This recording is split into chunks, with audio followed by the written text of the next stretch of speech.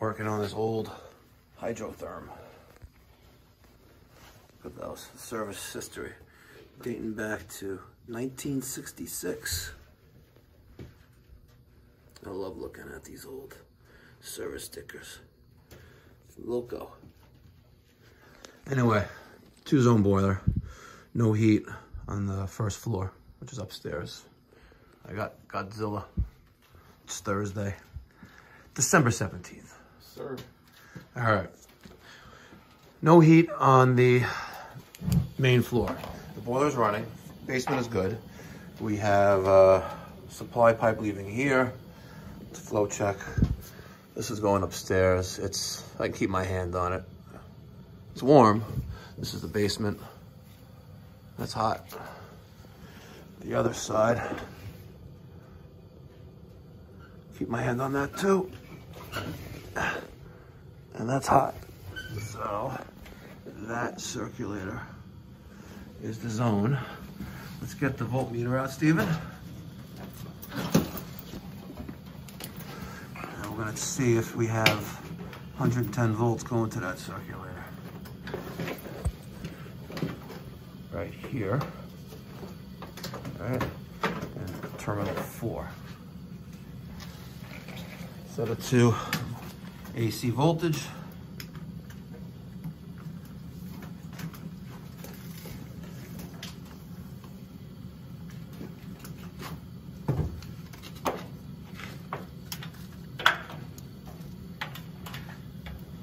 Inside the wire nut, one lead, and terminal number four, the other.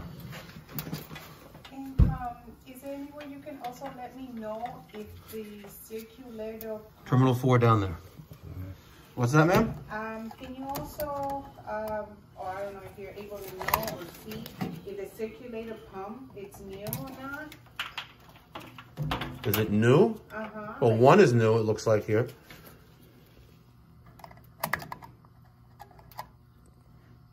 What do we got? Point oh eight four five volt. Sure that's in there. Up to number That's nothing. No power there. so, let's get a, uh, a jumper wire. And let's also hold this for a second. I'm gonna check for voltage going to it.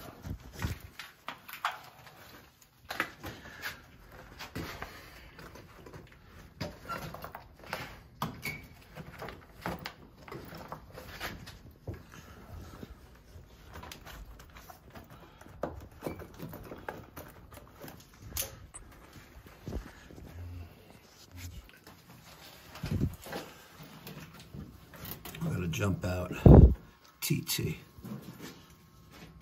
Sorry, TT. These two right there. See if we have a bad relay or not.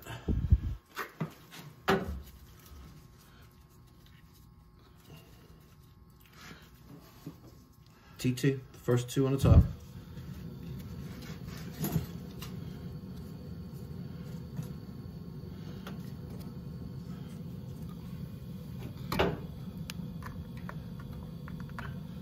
This is in there. Should I do it? You gotta get it on the, you gotta get on there. On the screw, right? Gotcha.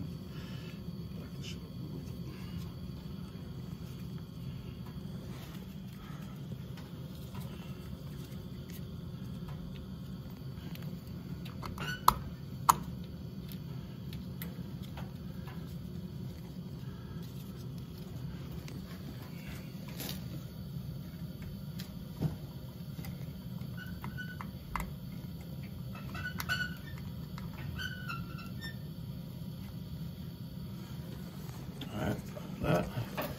Let's see if we have voltage now.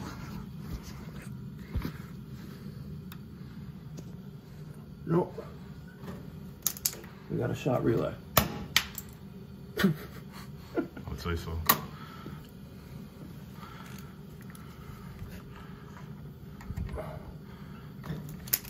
All right, relay is bad. All right, old relay is out. Let me tell you something. One thing I hate are these flat screws. You heard me rant about this before. Like whoever invented the flat screw really needs to be like shot. They're probably dead anyway because who uses these anyway? But We got the uh, Taco SR501 single zone switching relay. We're gonna put this in. So it turns out that we actually installed this circulator about a few weeks ago. The homeowner couldn't figure out who they who, who she had come do that, even though the sticker was there and there, and called somebody else who replaced that one, Taco 007 non-ECM circulator, by the way, and it didn't solve the problem. And then she found out who she called a few weeks ago, which was us, and now we're here. So, Steven's gonna do the honors. Flash back this done.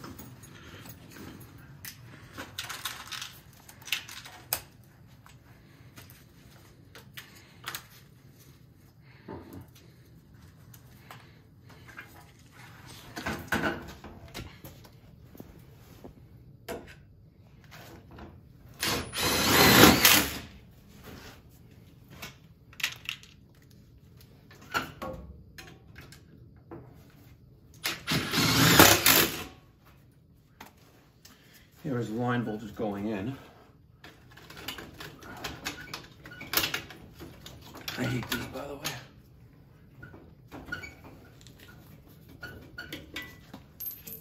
Let's clean this up before we stick it in the hole.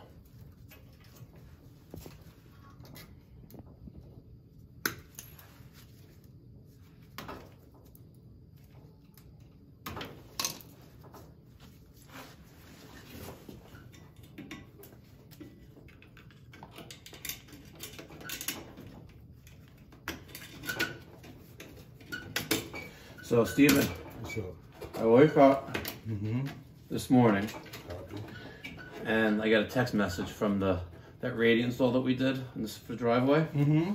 working flawlessly. Yeah, I saw the video yesterday. But you know, with it it got cold overnight, Uh huh. so I was kind of a little worried, you know. But uh, working well. And then I look outside my front door, and I look at mine.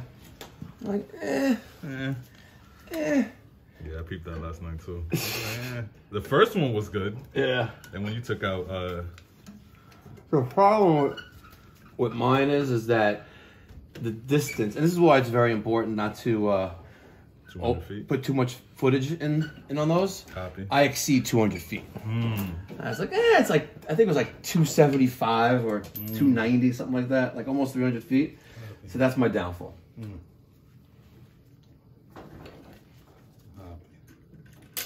But, like close to the sidewalk, you know, it was good. Like the first maybe 40% mm-hmm. from the sidewalk to the front door was good.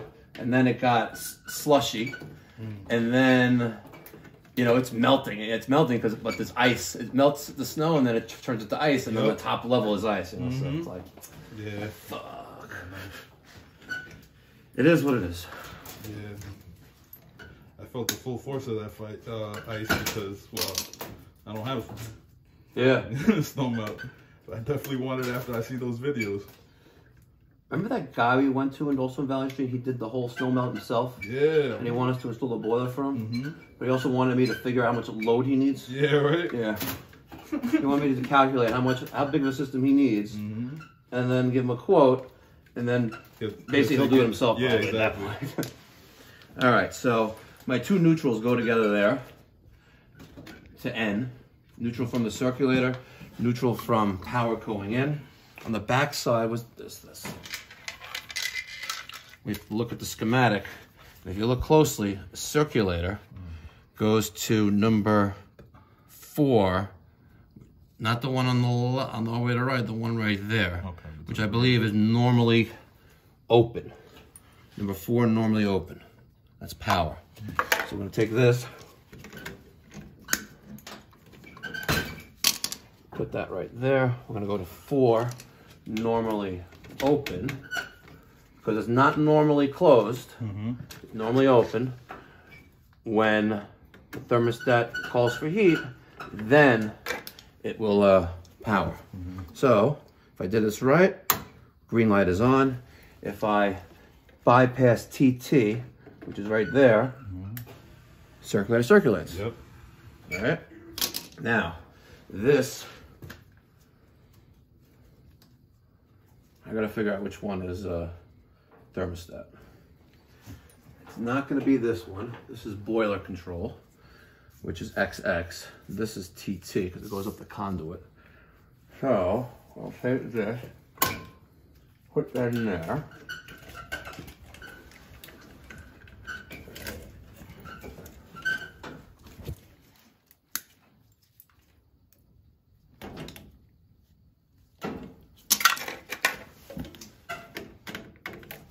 And also, if you were running, um, if you wanted a Nest thermostat or a Wi-Fi thermostat, you need that common. It's on most new relays now, common wire, but you need that third wire. Yeah. Mm, nest. Ugh. Yeah. Nest is marketed to the people. It's great, great uh, advertising. I Great advertising. it. You know?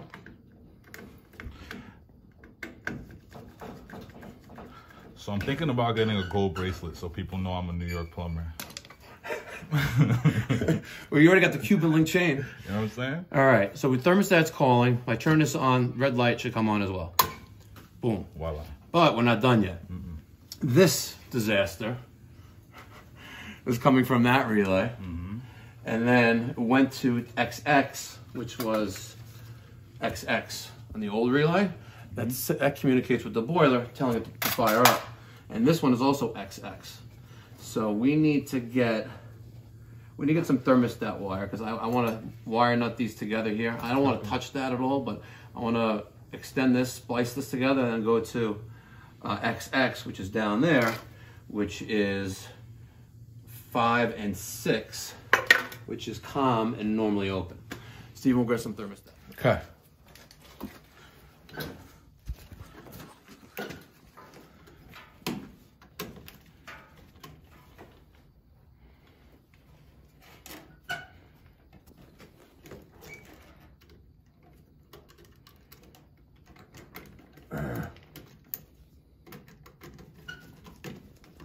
One wire is going on six, normally open. The other wire is going on COM, which is number five. They're secure there. Let's just tuck this wire out of the way right there.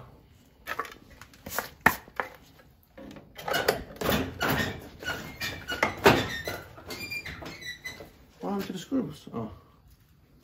All right.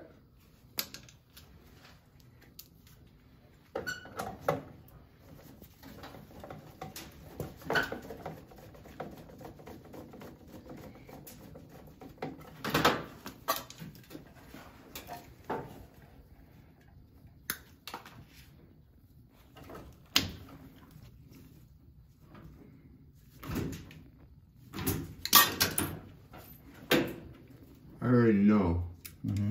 I already know. Someone's gonna comment like, "Oh, why didn't you replace the wires going to the other relay?" Well, if you see that thing, that thing's from 1966. Sure. You know, if I go in there, it's probably gonna break.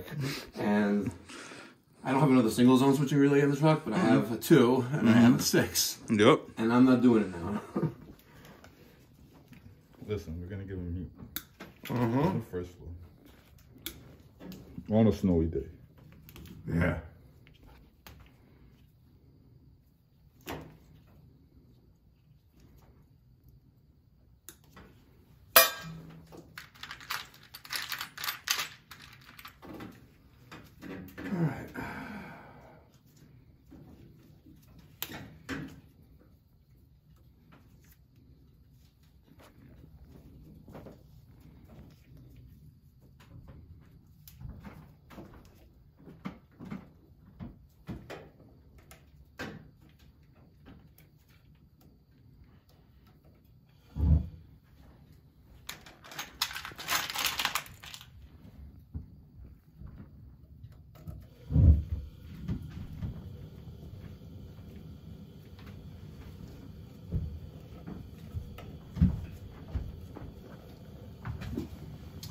Don't ask. This only turns off power just to this zone relay. That one. That one. How does it get its power? Oh, it gets its power from another source. It's up there. So here's one, and there's the other. So if we turn this on, circulating, we're good to go.